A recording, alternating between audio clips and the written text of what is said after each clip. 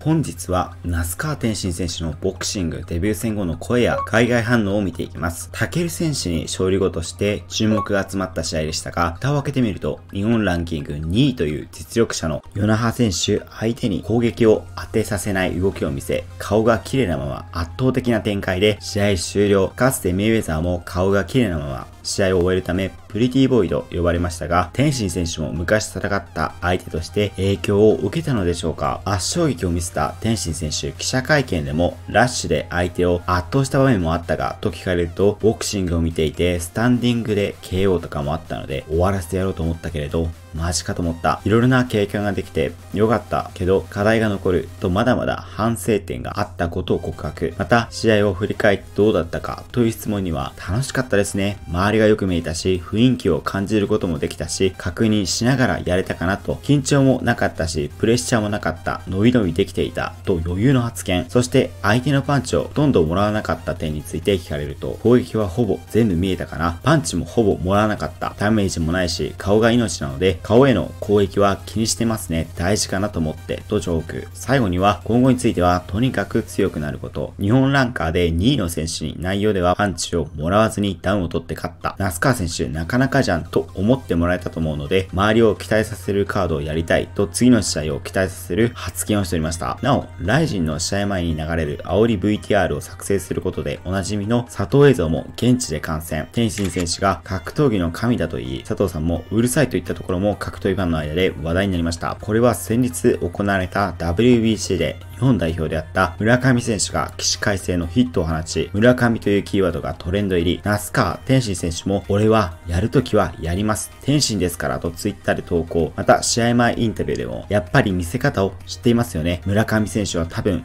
持ってる人じゃないですか。持ってる人はやっぱりああいう風になるんだなと改めて思いましたと簡単の声。そして、タケル戦のタイミングで村上選手から試合良かったです。僕も刺激になりましたと連絡が来たことを明かし、先にあげた刺激を返してもらったという感じです。僕も言ったろうかなと天心様になれるようにと話していたからこその発言だと思います。なお負けてしまったヨナハ選手は会見でブザマに負けたなという感じですと発言。実際インスタでもブザマにボコられました。たくさんの応援本当にありがとうございました。そしてこんなに応援いただいたのにも答えられず本当にすみませんでしたと謝罪するなど後悔が残る試合であったようです。また会見では天心選手と他の選手との違いはクリンチ際、おみ合いのところにあったと思う。キックでそういうところに慣れてるんだろうと予想以上に強いと感じた。とキックからすでに武井選手がボクシングに参入しておりますが、同じように首相撲や接近戦での強さを指摘されているように、天心選手を称賛。加えて、スピードはもちろんあるが、内訳とか技術も思った以上にあるかなと思った。と、天心選手の技術に言及。試合前こそ、スピード以外は自分が全て勝っている。スピード勝負じゃないので、速いからこそ逆にチャンスがある。と、速さだけをフォーカスした発言をしておりましたが、そうではなかったと振り返り。また、那須川天心選手のパンチ力はキレで倒す感じ。タイミングでもらったら危ない、やばいと思ったのもあった。結構 KO していくんじゃないですかね。吸収力がすごいので、で、どんどん上に行くと思うと絶賛しておりました。個人的にはボクシングデビュー戦でランキング2位の選手相手に軽いステップワークなどを見せるなど、余裕を見せる勝利を見せたことから本当に今後が期待ですが、ボクシング世界王者の京口選手も、天心の干渉やったね、引き出しの多さに脱帽した強いと投稿。また天心選手が活躍したライズの伊藤代表も第2章ボクシングデビュー戦感染してきました。ダメージなく干渉と称賛。また K1 創設者の石井館長も天心選手大したものだ。大物だね。これからが楽しみです。おめでとう。お父様、伊藤代表ご苦労様でした。心配しなくても経験重ねるうちに KO できるようになる。目もいいし、フットワークもある。カウンターも上手くなる。天心選手は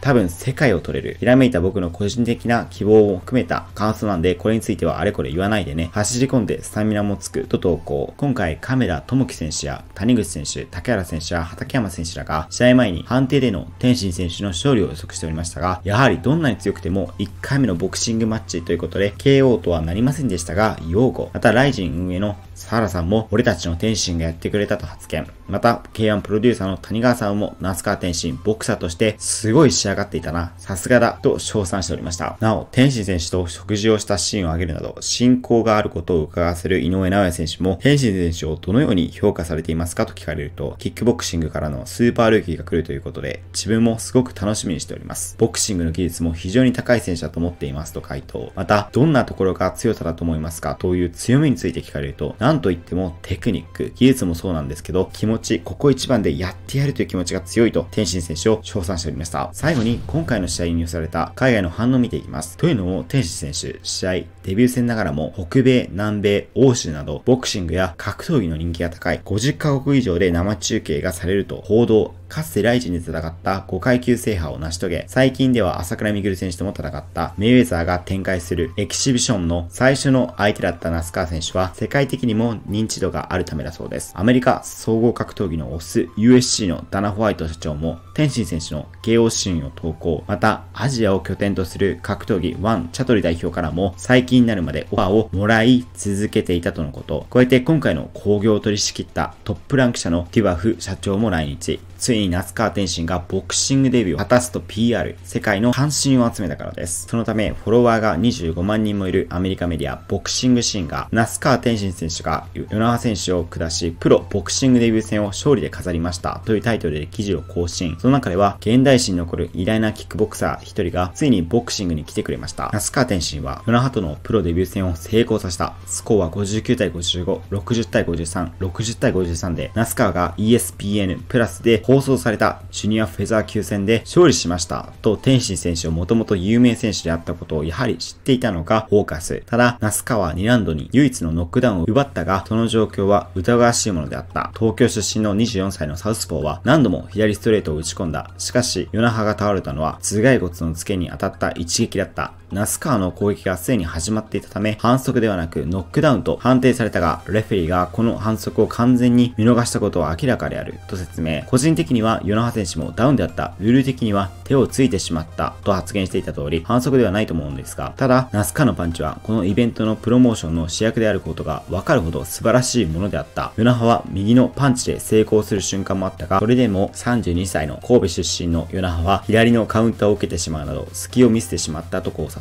最後にはこの試合はナスカにとってこれまでのリングでの試合いずれよりかもはるかにポジティブな思い出になっただろうと、ナスカ天心選手の華々しいプロボクシングデビュー戦について報道しておりました。個人的にはアメリカ最大のスポーツメディア ESPN が報道しているのかなと思いましたが、まだスケジュールのところだけだったので、いつかは井上直選手のように記事が公開されることを期待しております。以上、今回は那須川天心選手の試合へ寄せられた声をまとめていました。ぜひ試合を見た方は、那須川天心選手の試合へのご感想もコメント欄で教えてください。次の動画では改めて那須川天心選手や関係者が注目発言をしましたらお伝えする予定ですので、ぜひ見逃さないようにチャンネル登録してお待ちください。なお今回の動画が良かったら高評価ボタンを押してくださり、通知ボタンもオンにしてくださると励みになります。以上今回も動画をご視聴いただきありがとうございました。別の動画でも終わり機能を楽しみにしております。